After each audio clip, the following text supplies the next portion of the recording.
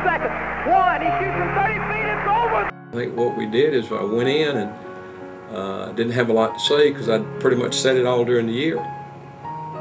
But I did say something to the effect I'd like for you to close your eyes uh, and reflect back on the journey.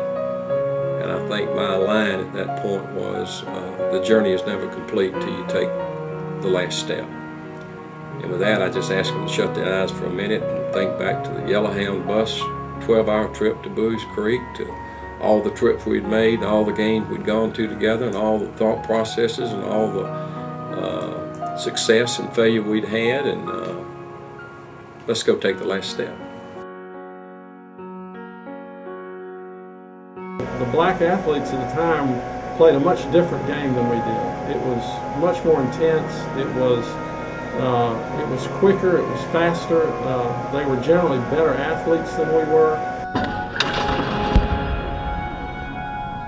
Insurmountable odds all the way. They were underdog every ball game.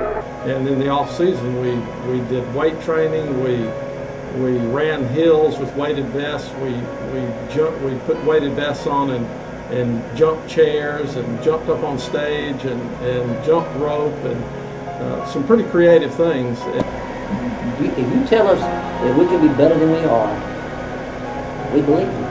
We do what he said to do. If we do these drills, do all that stuff behind the scenes, do all that off-season stuff, you know, run the hill, wear the weighted vest, run the track, pump iron, we can win. Sprint from 15 feet. Boom! 64, 63. Mark Smith by one. On behalf of the Georgia Sports Hall of Fame, we're very happy and pleased to have the collection of Coach Clifton and the telling the story of Mark Smith basketball here at the Hall of Fame.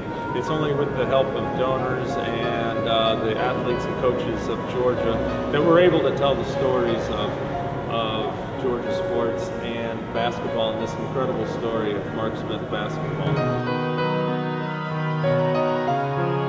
Boniface feels it layup shot is up and in by Chris. 10 seconds. 72-71. Mark Smith by one.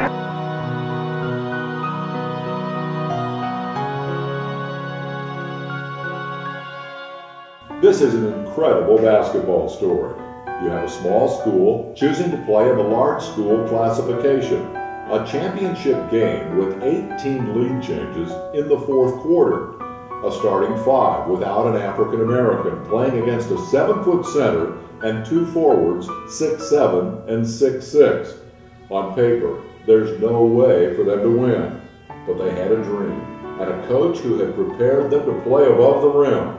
They defeated teams with players that went on to play for the Celtics, Philadelphia 76ers, and the Globetrotters. It is Monday, March the 10th, 1969. The high school basketball championship game for the state of Georgia is scheduled to tip off at 8 o'clock tonight on the Georgia Tech campus.